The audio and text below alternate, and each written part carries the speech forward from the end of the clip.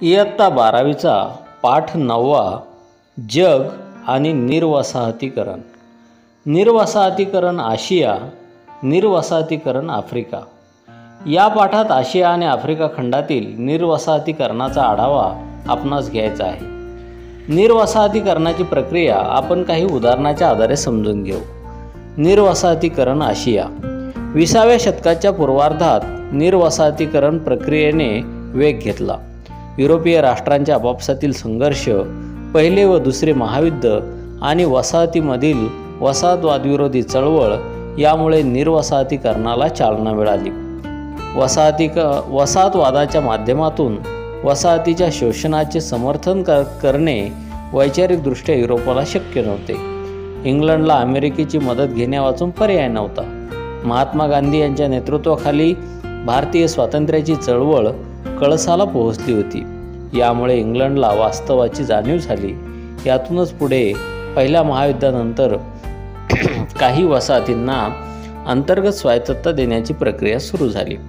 पहिल्या महायुद्धात जर्मनी व तुर्कस्तान या राष्ट्रांचा पराभव झाला. या राष्ट्रांच्या वर्चस्वाखाली असणाऱ्या वसाहतींच्या शासन व्यवस्थेसाठी राष्ट्रसंघाने विश्वस्त पद्धती आणली. इंग्लंड व फ्रान्स या राष्ट्रांना विश्वस्त म्हणून कार्य करण्यास सांगितले. भारतापाठोपाठ सायप्रस माल्टा हे देशही स्वतंत्र झाले. एकोणीसशे एकाहत्तरमध्ये ब्रिटनने इराणच्या आखातातून सैन्य काढून घेतले. पुढे सिंगापूरमधून इंग्लंड बाहेर पडले. French प्रभुत्वाखालील Indo China Morocco Tunisia Algeria स्वतंत्र झाले. विसाव्या शतकाच्या अखेरीस दक्षिण आफ्रिका स्वतंत्र झाला.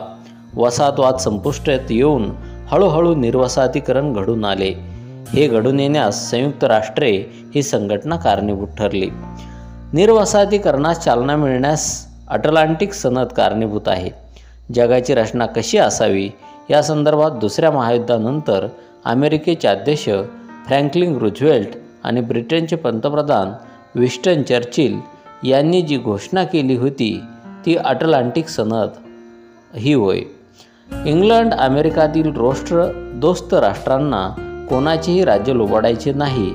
युद्धोत्तर काळात होणारे राजकीय व भौगोलिक फरक स्थानिक लोकांच्या इच्छेनुसारच करण्यात येतील व जगातील सर्व लोकांना स्वयंनिर्णयाचा हक्क राहील असे या अटलांटिक सनदेमध्ये म्हटलेले होते.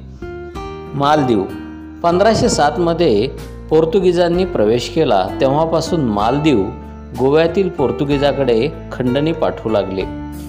सतराशे त्र्याहत्तरमध्ये पोर्तुगीजांची सत्ता मलबार येथील मोहम्मद ठाकूर फानू अल आझम याने संपुष्टात आणली.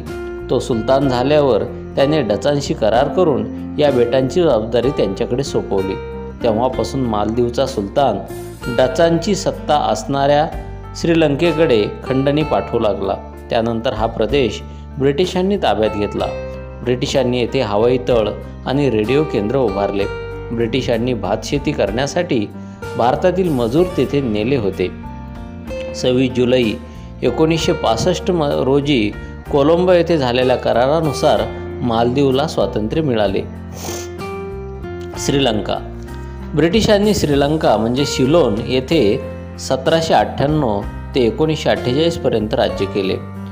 डच आणि पोर्तुगीज यांचा पराभव करून ब्रिटिशांनी श्रीलंका ताब्यात घेतले. ब्रिटिश सत्तेविरोधात श्रीलंकेमध्ये उठाव झाले. श्रीलंकेमध्ये कॉफी लागवडीच्या क्षेत्रात काम करण्यासाठी ब्रिटिशांनी अनेक तामिळ मजूर दक्षिण भारतातून नेले. कॉफी चहा रबर आणि नारळ यांच्या उत्पादन व विक्रीत ब्रिटिशांनी व्यापारी वर्चस्व मिळवले. ब्रिटिशांनी कोलंबो हे जागतिक बंदर म्हणून नावारूपास आणले.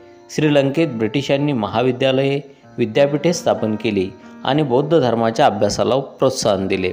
एकोणीसशे अठ्ठेचाळीसमध्ये श्रीलंका हा देश ब्रिटिश वर्चस्वातून पूर्णपणे मुक्त झाला. त्यानंतर म्यानमार म्हणजे पूर्वीचा ब्रह्मदेश.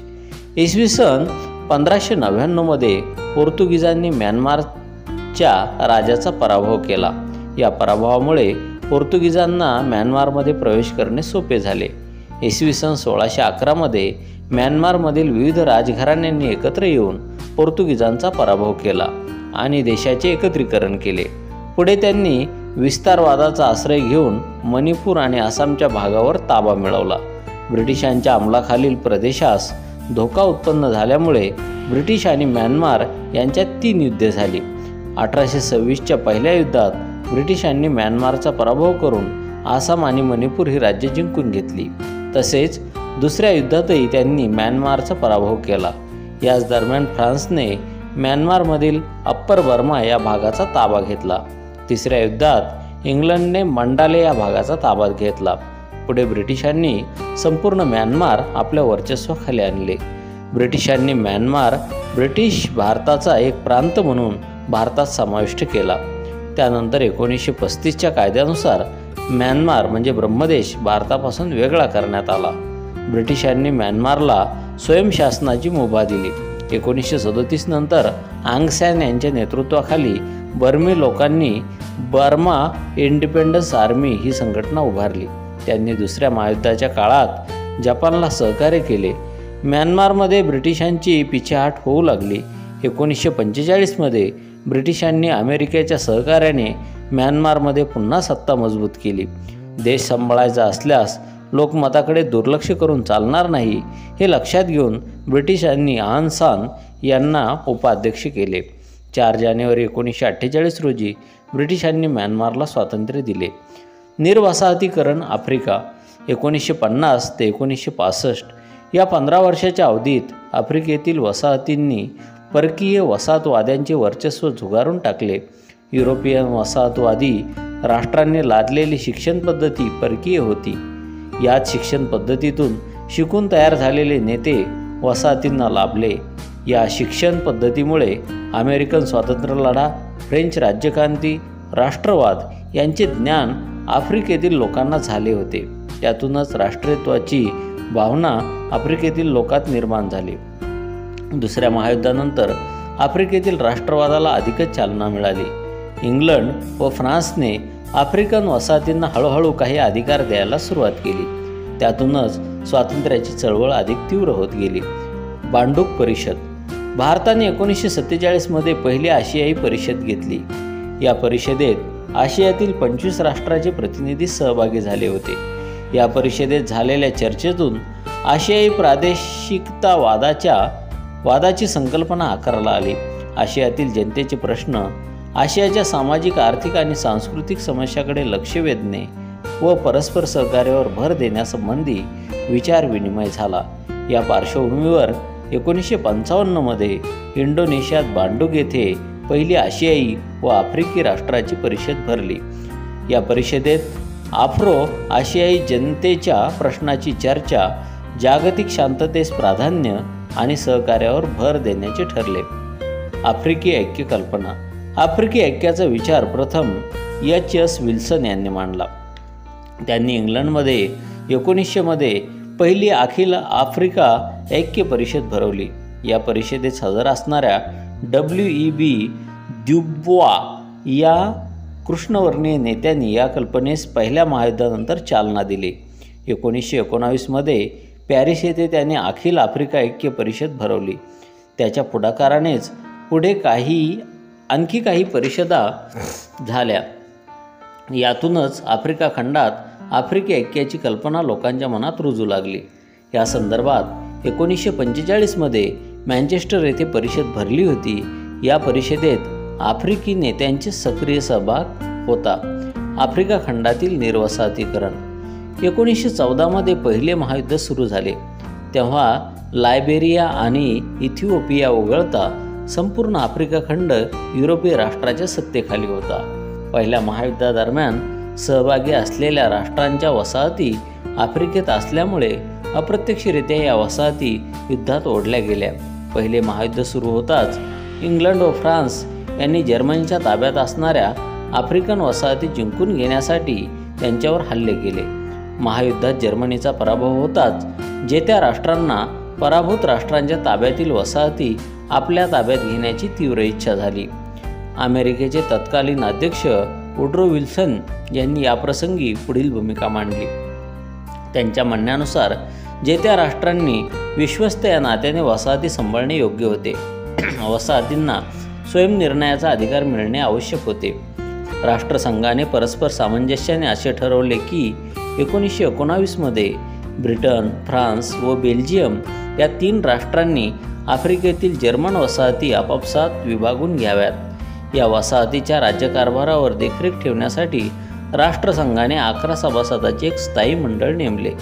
एकोणीसशे वीसमध्ये Cape Colony Natal Orange Free State of Transvaal या चार ब्रिटिश वसाहतींचे एकत्रीकरण होऊन त्यांचे दक्षिण आफ्रिका हे राज्य निर्माण झाले.